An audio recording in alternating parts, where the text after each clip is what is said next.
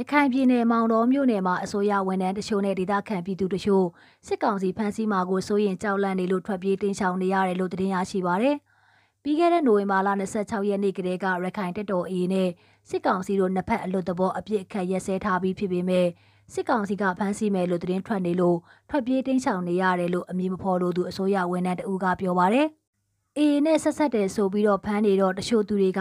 မင်းလဲပါတယ်ငါလဲပါတယ်ဆိုပြီးစိုးရိမ်နေကြတာပေါ့။ တချို့ဝန်ထမ်းတွေဆိုရုံတော်မတက်ရဲကြဘူးထွေဥကဝန်ထမ်းတယောက်လည်းရှောင်နေပါတယ်ပညာရေးဝန်ထမ်းတယောက်ကိုလည်းခြာနေတယ်လို့ပြောတန်ကြတော့သူလည်းခြောင်နေရပါတယ်နောက်ပြီးကောလာဟာလာအတန်ထွက်တဲ့သူတွေလည်းရှိပါသေးတယ်လို့ဆိုပါတယ်အခုလိုတိန်းချောင်နေရသူများဟာမောင်တော်မြို့နယ်မှာရှိတဲ့နေပယ်အသီးသီးကဖြစ်ကြပြီးဖမ်းဆီးမယ်လို့သတင်းထွက်နေတာဟာလူပေါင်း100ခန့်လောက်ရှိနေတယ်လို့သိရှိရပါတယ်။နောက်အစိုးရဝန်ထမ်းတအူးကမြို့ဦးရက်ကွက်ကထွေအုပ်စရေးတယောက်ကိုလည်းအေးနဲ့ဆက်ဆက်တန်တရားနဲ့နေအိမ်ကနေစစ်ကောင်စီကဖမ်းထားပါတယ်။ ခုလိုဆိုတော့လူတွေကတော့စိုးရင်ထိတ်လန့်မှုနဲ့နေကြရတယ်ဒီလိုအချိန်မျိုးမှာအဆအဆအရာဖြေလျှော့ပေးဖို့လိုပါတယ်လို့ဆိုပါတယ်မောင်တော်မြို့နယ်မြို့မမြောက်ရက်ကွက်နေထိုင်သူကိုစောတီဟအောင်ကိုလည်းပြီးခဲ့တဲ့နိုဝင်ဘာလ26ရက်နေ့ကဖမ်းဆီးထားတယ်လို့သိရပါတယ်အဆိုပါကိစ္စနဲ့ပတ်သက်ပြီးသိရှိလိုတာကြောင့်ရခိုင်ပြည်နယ်စစ်ကောင်စီနယ်လုံဝင်ကြီးနဲ့မောင်တော်မြို့နယ်ရဲတပ်ဖွဲ့ကိုဆက်သွယ်ရဖုံးလက်ခံဖြေဆိုခြင်းမရှိခဲ့ပါတခြားလွတ်တော်အမတ်ဟောင်းတချို့ကိုလည်းဖုံးနဲ့ဆက်သွယ်ရမှာလည်းဆက်သွယ်ရမရရှိခဲ့ပါ လက်ရှိစစ်ကောင်စီနဲ့ရခိုင်တပ်တော်တို့အပြစ်ခတ်ရထားပေမဲ့ရခိုင်တပ်တော်နဲ့ဆက်ဆက်သူများလို့ခေါင်းစဉ်တက်ခါစစ်ကောင်စီကထပ်မံဖမ်းဆီးလာမှာကိုစိုးရိမ်နေရတယ်လို့၎င်းတို့ကပြောဆိုပါရယ်အပြစ်ခတ်ရဆဲထားပြီးတလားခန့်အကြာမှာဘူးတိတောင်မြို့နယ်မှာလက်နက်ကြီးတံများနဲ့အတူပောက်ကွဲတံတချို့ကိုကြားခဲ့ရကြောင်းဒေသခံတွေကပြောပါရယ်ဒီဇင်ဘာလ26ရက်နေ့နက်ပိုင်းကဘူးတိတောင်မြို့နယ်နေုံတောင်ကျွရအနီးစစ်တပ်တဆွဲထားတဲ့တောင်နီးကပောက်ကွဲတံတစ်ချက်ကြားခဲ့ရကြောင်းဒေသခံတွေကပြောပါရယ် နေုံတောင်ကျွရသားတူကသူတို့ရှိတဲ့တောင်ဘက်ကပောက်ကွဲတံတစ်ချက်ကြားရတယ်။ဒါပေမဲ့တခြားဘာမှတော့မကြားရတော့ပါဘူး။မိုင်းလာလက်နက်ကြီးတန်လာမတဲကွဲပါဘူးလို့ပြောပါရယ်။ဒီဇင်ဘာလ25ရက်နေ့ညနေ3နာရီခွဲခန့်ကလည်းဘူးတီတောင်တက်မကြီးဘက်မှလက်နက်ကြီးတန်၄ချက်ကြားခဲ့ရကြောင်းဘူးတီတောင်ဒေသခံတွေကပြောပါရယ်။ညနေ3နာရီခွဲလောက်ကဘူးတီတောင်တက်မကနေလက်နက်ကြီးတန်နှစ်ချက်စကြားရပါတယ်။မကြပါဘူးနောက်ထပ်နှစ်ချက်ကြားရတယ်။လေးလာကြီးတော့လက်နက်ကြီးကြီးတွေဖျက်ဆီးတာလို့ပြောပါရယ်။ တေချာတော့မသိပါဘူးလို့ဘူးတီတောင်ဒေသခံတို့ကပြောပါတယ်။အခုလိုအပြစ်ခတ်ရဲဆဲထားချိန်မှာလက်နက်ကြီးတံများကြားနေရတဲ့အတွက်ဒေသခံများကြားစီရေးနဲ့ပတ်သက်ပြီးစိုးရိမ်မှုများရှိနေကြောင်း၎င်းကဆက်ပြောပါရယ်။လက်နက်တွေဖျက်ဆီးမဲ့ဆိုလဲကြိုတင်သတိပေးထားတာမျိုးတော့လုပ်တဲ့နေထင်တယ်။တိုက်ပွဲတွေဖြစ်ခဲ့ကြတာလည်းမကြသေးဘူး။အပြစ်ခတ်ရထားတဲ့ပြောပြီးအခုလိုလက်နက်ကြီးတံတွေကြားရတော့စိုးရိမ်နေပြန်ဖြစ်ကြတာလားဘလို့ဖြစ်တာလဲပေါ်လို့ပြောပါရယ်။ ဒီဇင်ဘာလ6ရက်နေ့ကလည်းမင်းပြမြို့နယ်မှာရှိတဲ့အမှတ်6တပ်မတော်လေးကျင်ရေးတင်နန်းချောင်းကလက်နက်ကြီးလက်နက်ငယ်များအချက်ပေါင်းများစွာပစ်ခတ်မှုတို့ရှိခဲ့ကြောင်းသိရပါဗျ။ရခိုင်ကမိဘမဲ့ကလေးတငယ်ပြုစုဆောင်ချောက်ရေးကြောင်း ABC Foundation မှာချီနေတဲ့ကလေးတငယ်တွေကိုပြုစုဆောင်ချောက်ရမှာအခက်အခဲတချို့ကြုံတွေ့နေရကြောင်းစုံစမ်းသိရှိရပါတယ်။ကုန်စည်နှုန်းမြင့်မားနေမှုအပြင်လှူဒန်းမှုနှဲပါလာမှုတွေကြောင့်အခုလိုအခက်အခဲများကြုံတွေ့နေရခြင်းဖြစ်ပြီးရင်းခက်ခဲများကိုဖြည့်ရှင်းရန်ရန်ပုံငွေစုဆောင်းငွေတွေကိုအသုံးပြုကာ ပြုစုဆောင်ရှောက်နေရကြောင်းလဲကြောင်းတာဝန်ရှိသူများထံကသိရပါဗျ။လက်ရှိမှာအလောက်ကန်ရှားပါမှုစီးပွားရေးအဆင်မပြေမှုနဲ့ကုန်စည်နှုန်းမြင့်တက်နေမှုတွေကြောင့်လှူဒန်းမှုနှဲပါလာနေခြင်းဖြစ်ပြီးကလေးငယ်များရဲ့စားတောက်ရေးကိစ္စကိုဖြည့်ချင်းတိုင်းရန်ကျောင်းရံပုံငွေထဲမှာထုတ်ယူသုံးစွဲနေရခြင်းဖြစ်တယ်လို့ ABC Foundation အုပ်ချုပ်ရေးမှူးဦးလာမင်းကျော်သူကပြောပါရယ်အခက်ခဲရှိပါတယ်အရင်တော့ကဆိုရင်ကုန်စည်နှုန်းကပုံမှန်ရှိနေအချိန်ဆိုတော့ကလေးတွေအတွက်ပိုက်ဆံ9000နဲ့တမင်းတစ်နက်စာအဆင်ပြေပါတယ်။ အခုကကုန်စည်နှုန်းတွေအစမတန်မြင့်တက်နေတာဆိုတော့ပတ်စံ9000နဲ့မလောက်တော့ပါဘူးအသားဟင်းကို9000လောက်ဝယ်ရပါတယ်ကြံတဲ့ဆန်စီစားဟင်းသီးဟရက်တွေကြတော့အလူငွေနေတဲ့အခါကျတော့ရန်ပုံငွေတွေကစိုက်ထုတ်နေရပါတယ်လို့၎င်းကပြောပါတယ်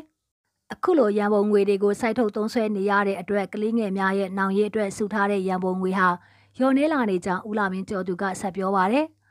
အလွန်ငွေနေတဲ့အခါကျတော့ကလေးတွေရဲ့နောင်ရည်အတွက်စုဆောင်းထားတဲ့ရန်ပုံငွေတွေကအနည်းနဲ့အများတော့ထုတ်ယူသုံးဆွဲရပါတယ်။ရန်ပုံငွေတွေအနေနဲ့လည်းရော့သွားတာပေါ့။အဲ့လိုမျိုးအရှင်တွေရှိပါတယ်လို့၎င်းကဆိုပါတယ်။ဒါအပြင်ရခိုင်နေများကဆိုရင်ကလေးတငယ်ပြုစုဆောင်ချောက်ရေးကြောင်း ABC Foundation မှလာရလူဒန်းထောက်ပံ့မှုများရှိခဲ့ပေမဲ့လက်ရှိမှာလာရလူဒန်းသူများနေပါလာနေတယ်လို့အလူငွေတွေဟာလည်းညော်နေသွားကြောင်းသိရပါတယ်။လက်ရှိမှာမိဘမဲ့ကလေးတငယ်များပြုစုဆောင်ချောက်ရေးကြောင်းမှာ ကလေးငယ်64ဦးကိုစောင့်ချောက်ပေးထားပြီးကလေးငယ်များကိုပြုစုစောင့်ချောက်ရန်အတွက်ဝန်ထမ်းအင်အား24ဦးနဲ့စာသင်ပြရန်အတွက်ဆရာမ4ဦးကိုခန့်အပ်ထားကြောင်းသိရပါဗျ။ရခိုင်နှစ်များကကလေးငယ်တွေကိုပြုစုစောင့်ချောက်စာသင်ပြနေတဲ့ဝန်ထမ်း35ဦးအထိရှိခဲ့ပေမဲ့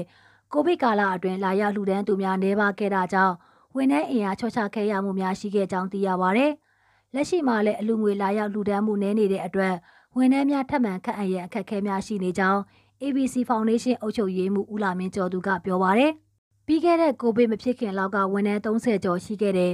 ကိုဗစ်ဖြစ်တုန်းကကျွန်တော်တို့ဝန်ထမ်း30ကျော်လောက်ရှော့ပြရတယ်အခုဝန်ထမ်း20ကျော်လောက်ပဲရှိတော့တယ်ဝန်ထမ်း22ဦးနဲ့ဆရာမ4ဦးဆိုရင်26ဦးလောက်ပဲရှိပါတယ်ဒီတော့ကျွန်တော်တို့လက်ရှိမှာကိုဗစ်တွေပြောင်းနေပြီဆိုပေမဲ့ဒီဝန်ထမ်းတွေကိုဆက်ပြီးတော့တိုးဖို့ကအလူငွေအခက်ခဲရှိတာကြောင့်နောက်ထပ်ဝန်ထမ်းခန့်အပ်ဖို့ကစဉ်းစားစရာဖြစ်နေပါတယ်လို့၎င်းကပြောပါရယ် ယခုလိုအလူငွေတွေလာရောက်လူဒန်းမှုများလျော့နေလာနေပြီးကုန်စည်နှုန်းများဆက်လက်မြင့်တက်နေပြီဆိုရင်ကလေးများအတွက်လာမယ့်နှစ်ကာလအတွင်းစားတောက်နေထိုင်ရေးမှာအခက်အခဲရှိလာမှာကိုစိုးရိမ်နေရကြောင်းနဲ့ဝန်ထမ်းများအတွက်လည်းစိုးရိမ်နေရတယ်လို့ကလေးတငယ်ပြုစုစောင့်ရှောက်ရေးကြောင်း ABC Foundation ကြီးကြပ်ရေးမှူးဒေါ်ရီရီမေကပြောပါရယ်အခုလောလောဆယ်တော့အလူရှင်တွေလာရောက်လူဒန်းနာတွေတော့ရှိပါသေးတယ်ဒါပေမဲ့ဒီထက်ပိုပြီးနဲလာရင်တော့ကလေးတွေရဲ့စားတောက်နေထိုင်ရေးတွေမှာအခက်အခဲရှိလာမှာကိုစိုးရိမ်ပါတယ်။ ဝန်ထမ်းတွေရဲ့အောက်ဆုံးအရှိကန်လစာက3သိန်း9တောင်းပေါ့ကုန်စည်နှုန်းတွေတအားတက်နေတယ်ဒီထက်လဲပိုဆိုးလာရင်အလူရှင်တွေနောက်ထပ်လျော့နေလာမှာပါဒါဆိုရင်ကျမတို့ဝန်ထမ်းတွေအတွက်စားရေးတောက်ရေးကပိုကျက်တဲ့လက်ဝါကိုစိုးရိမ်တယ်လို့သူကဆိုပါတယ်ရခင်ကကလေးတငယ်ပြုစုဆောင်ချောက်ရေးအကြောင်းမှာကလေးတွေအတွက်တနေ့တာစားစိမ်းနဲ့အခြားအသုံးစရိတ်များဟာတနေ့တာကုန်ကြငွေကျပ်ငွေ3သိန်းခွဲဝန်းကျင်ရှိခဲ့ပေမဲ့လက်ရှိမှာကလေးငယ်64ဦးအတွက်3သိန်းခွဲကျော်အထိသုံးစွဲနေရကြောင်း ကျောင်းတော်ဝင်ရှိသူထံမှသိရပါဗျ။အဆိုပါ ABC Foundation ကိုလူပုဂ္ဂိုလ်9ဦးကပြီးခဲ့တဲ့2010ခုနှစ်မှာစစ်တွေမြို့မင်းကန်ရက်ကွက်မှာစတင်တည်ထောင်ခဲ့ခြင်းဖြစ်ပြီးလက်ရှိမှာ10နှစ်ကျော်ကာလကိုဖျက်ဆီးနိုင်ခဲ့ပြီဖြစ်ကြောင်းသိရပါဗျ။အမျိုးသားညီညွတ်ရေးအစိုးရ NUG ကဒီဇင်ဘာလ25ရက်နေ့ကပြုလုပ်တဲ့ကော်ပိုရာစစ်ကြောင်းစစ်တင်နန်းဆင်ပွဲမှာတနက်အလက်90ကိုပေးရခဲ့ကြောင်းတင်ရရှိပါဗျ။၎င်းတင်နန်းဆင်ပွဲကိုကရင်အမျိုးသားအစည်းအရုံး KNU တပ်မဟာ6နေမြေမှာပြုလုပ်ခဲ့ပြီး NUG ပြည်ထောင်စုဝန်ကြီးချုပ်မန်းဝင်းခိုင်တန်းကကော်ဘရာစစ်ကြောင်းဒုစစ်ကြောင်းမူတံပြည့်ရခဲ့ခြင်းဖြစ်ကြောင်း NUG ကသတင်းထုတ်ပြန်ထားပါတယ်။ပြည်ထောင်စုဝန်ကြီးချုပ်မန်းဝင်းခိုင်တန်းကအစိုးရရဲ့တနှစ်စီမံချက်အကောင့်ထဲပေါ်ဆောင်ရွက်နေမှုတိုင်းရင်းသားမဟာမိတ်အဖွဲ့များနဲ့ဟန်ချက်ညီညီပူးပေါင်းဆောင်ရွက်နေမှုကုလသမဂ္ဂအပါအဝင်ကမ္ဘာနိုင်ငံများနဲ့တန်ခင်းတမန်ခင်းကောင်းမွန်စွာချိတ်ဆက်ထားနိုင်မှုတပြည်လုံးအတိုင်းအတာနဲ့တိုင်းရင်းသားမဟာမိတ်တပ်များနဲ့ပြည်သူ့ကာကွယ်ရေးတပ်မတော်ပူးပေါင်းပြီး စစ်စင်ရေးအသာစီရယူဆောင်ရွက်ထားနိုင်မှုအစရှိတဲ့အကြောင်းအရာတွေကိုပြည်သူ့ကာကွယ်ရေးတပ်မတော်ကရဲဘော်တွေကိုရှင်းလင်းပြောကြားခဲ့တယ်လို့သတင်းမှဖော်ပြထားပါတယ်။ပြည်ထောင်စုဝင်ကြီးချုပ်နဲ့တာဝန်ရှိသူတွေကတင်နန်းစင်ရဲဘော်တွေကိုတအူးချင်းတစ္ဆာရေးတိုက်ကြွေးမှုပါပြုလုပ်ခဲ့ကြပြီး NUG ပြည်ထောင်စုဝင်ကြီးချုပ်နဲ့ပြည်ထောင်စုလွှတ်တော်ကိုစားပြုကော်မတီမှ